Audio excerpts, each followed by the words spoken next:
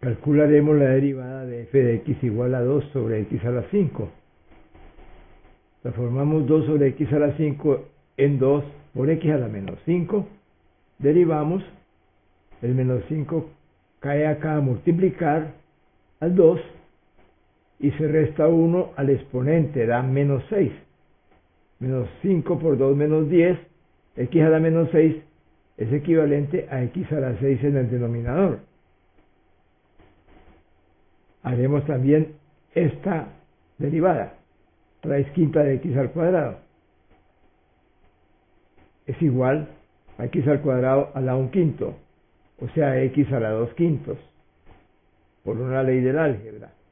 f' de x sería 2 quintos, el 2 quintos cae acá, x a la 2 quintos menos 1, se le resta 1 al exponente, se hacen las operaciones, 2 quintos x a la menos 3 quintos da esta resta y al fin y al cabo ese x a la menos 3 quintos se coloca en el denominador como x a la 3 quintos y me queda 2 sobre 5 x a la 3 quintos.